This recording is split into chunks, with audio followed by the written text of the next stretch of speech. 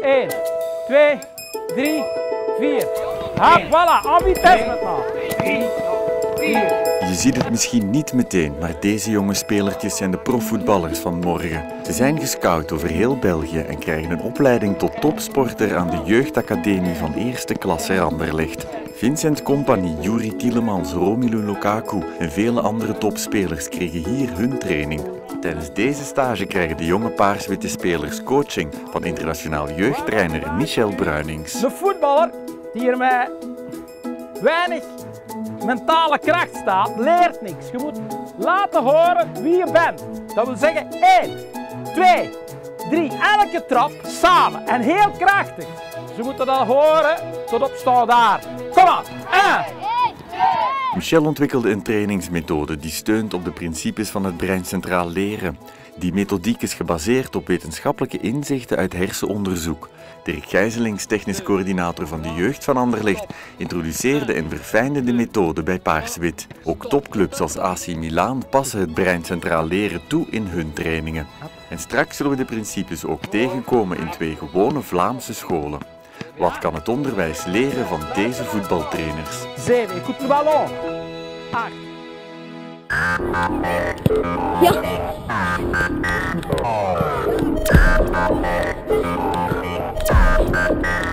Ja.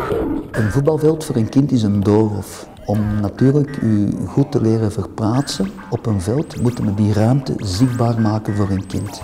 En hoe kan je een ruimte zichtbaar maken voor een kind? Door bijvoorbeeld een paslijn te markeren via twee potjes, maar dat kan ook door een voetbalveld te gaan verdelen in vakken. Wij gebruiken een kruis, een ruit, eh, vier hoeken. En na verloop van tijd, door de herhaling, eh, gaan de hersenen die verschillende elementen bundelen en in het lange termijn geheugen stoppen. Oké, te veel spelers raken de bal hier. Wat is dat? Potjes. Spelers. Dus hier. Select de positie. Daar. Goeie. Oké, dus nu, ik vraag dieper. Je demande plus profond. Oké? Go.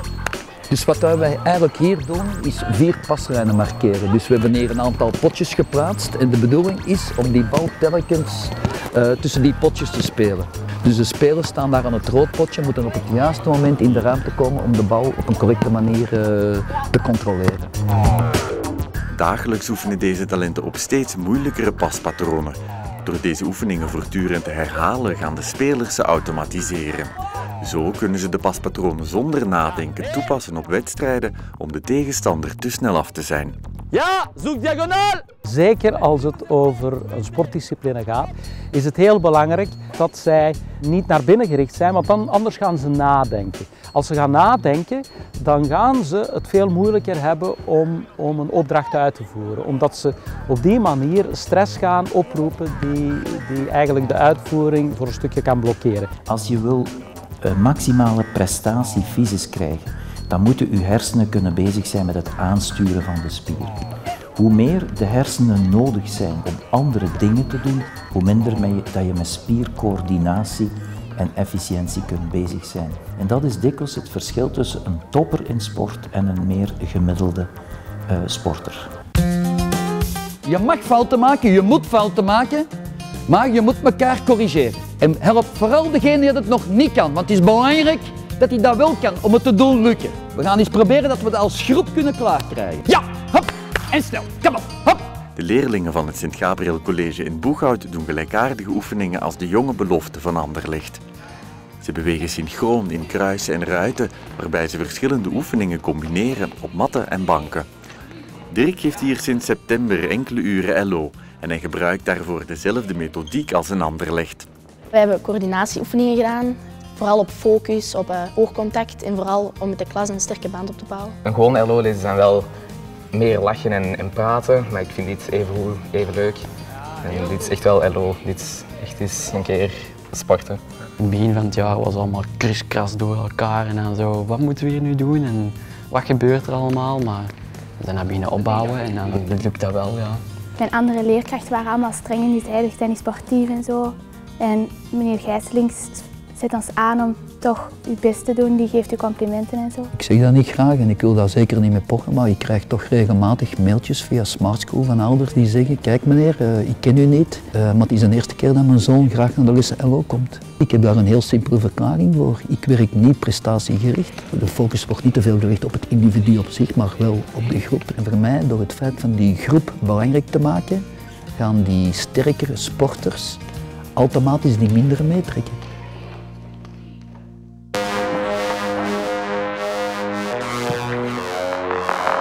Vandaag het laatste deel van de dag. Ik hoop dat jullie allemaal een fijne dag hebben gehad, zowel op de school als tijdens de voetbal vanmiddag. Dus we gaan verder werken op die crosswide positions vandaag. Jullie gaan de training een stukje moeten leiden vanuit de patroontjes die je allemaal hebben geleerd. On joue toujours ensemble. C'est pas l'un contre l'autre. C'est vous qui va faire le coaching aujourd'hui. D'accord?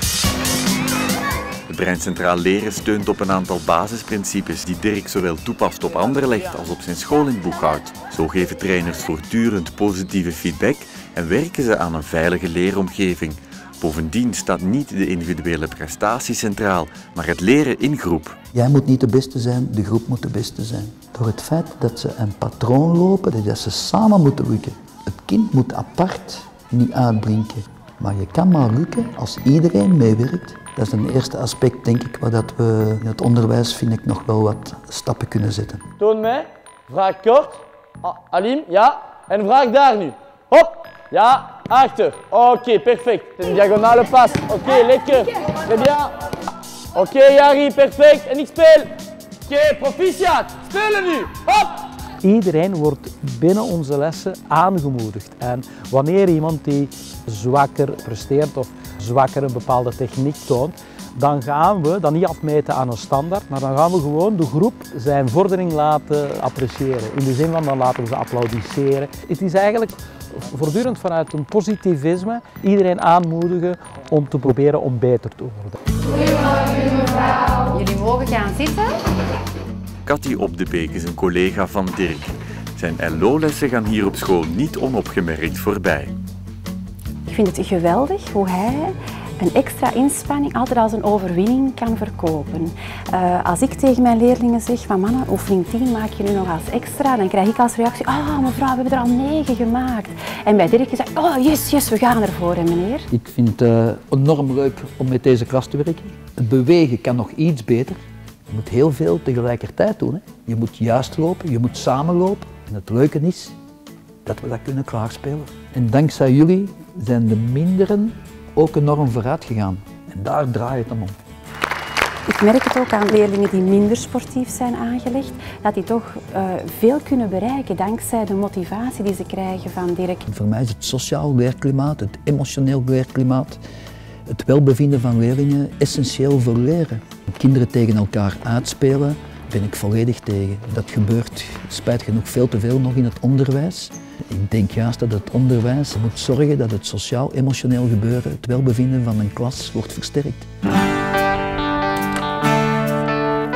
Na de lesuren rijdt Dirk stevast richting Anderlecht. School en voetbal. Twee verschillende werelden. Het zijn meestal talentvolle kinderen en talentvolle kinderen zijn niet altijd de gemakkelijkste kinderen. Hè? Maar om zich, om training te geven, om, om, om te werken, om les te geven, is het eigenlijk op Anderlecht gemakkelijker. Ze zijn ten eerste gemotiveerder en het publiek is ook homogener. Dus in die zin is het in het onderwijs naar differentiatie toe toch wel uh, moeilijker. Ik heb jullie trainingen bekeken. Over het algemeen gesproken, inhoudelijk, inhoudelijk zeer goed. Twee opmerkingen, details. Dat is uw tekeningen nog beter benoemen. Dirk geeft voor de Nationale Voetbalbond les aan profvoetballers als Thomas Buffel en Jelle Vossen.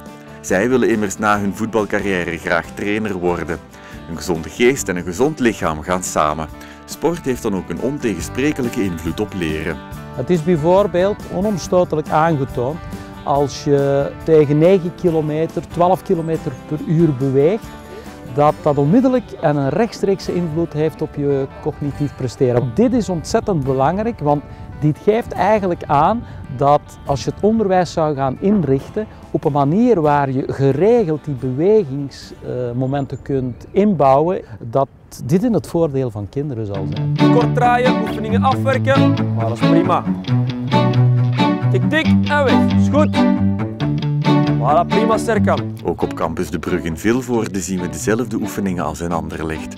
Hier gaan ze nog een stapje verder dan de school in Boeghout. Sinds kort heeft deze school immers een voetbalproject waar leerlingen naast hun TSO-opleiding 4 tot 6 uur voetbaltraining volgen, gebaseerd op de principes van het breincentraal leren. Dit schooljaar is het project al uitgebreid met basketbal.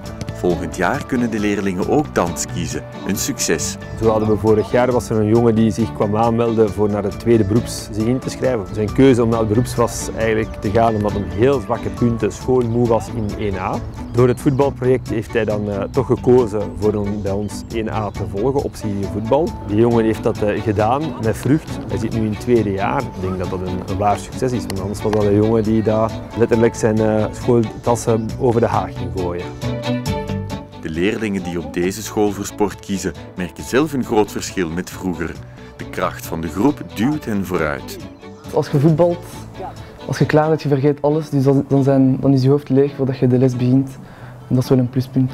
Wat ik het meeste heb geleerd uh, vanuit de trainingen van uh, voetbal, dat is uh, dat je discipline en respect moet hebben voor, alleen voor je leerkrachten, voor je coach en zo. En ook dat je je heel veel moet concentreren en dan kun je ook gebruiken in de les. Als we slechte punten hebben, mogen we een aantal weken niet komen voetballen. Dus dat is natuurlijk niet leuk, dus daarom studeer ik wel, om te blijven komen voetballen. Als bijvoorbeeld iemand iets niet kan, bijvoorbeeld die kan iets niet van Engels, dan helpt iemand mij van de voetbalschool daarmee.